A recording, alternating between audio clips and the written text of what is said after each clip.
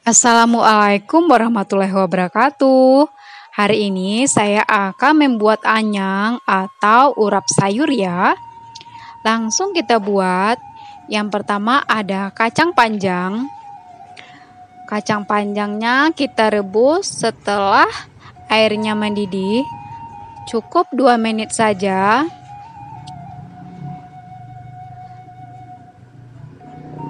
Lalu masukkan lagi toge. Rebus juga selama 2 menit. Lalu saring dan disisihkan.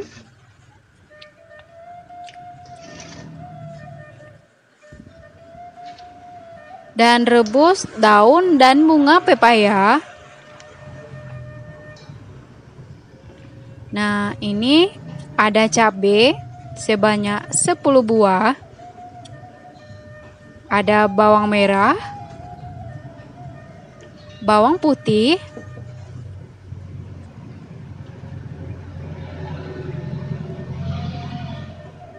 rebusnya cukup satu menit saja, lalu angkat dan tiriskan.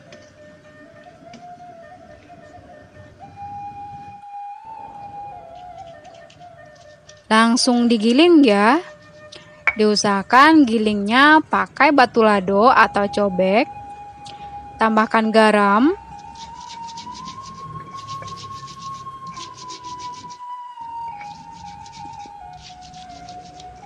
Jangan pakai blender ya.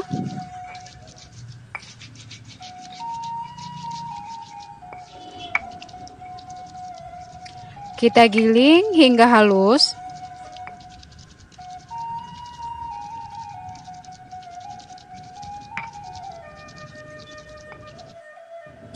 Lalu masukkan bawang merah dan bawang putihnya.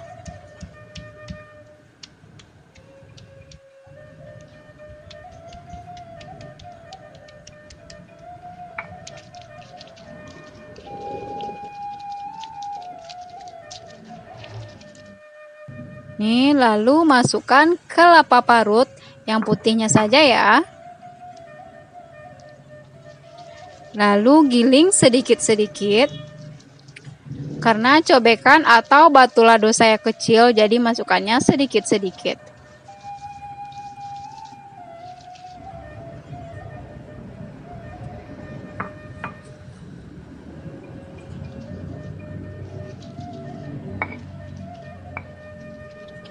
Giling hingga tercampur rata semuanya. Lalu tambahkan jeruk nipis sebanyak satu buah. Jangan lupa disaring ya. Jangan sampai masuk bijinya.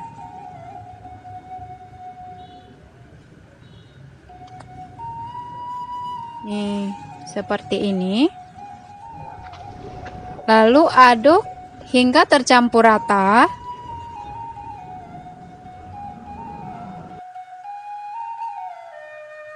Nah, lalu dicampur ke toge sayur-sayuran bunga pepaya dan daun pepaya ya yang sudah kita tiriskan.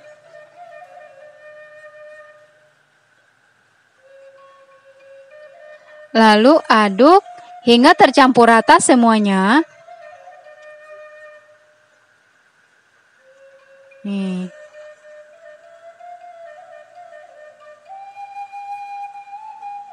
Nih ya, sudah tercampur rata.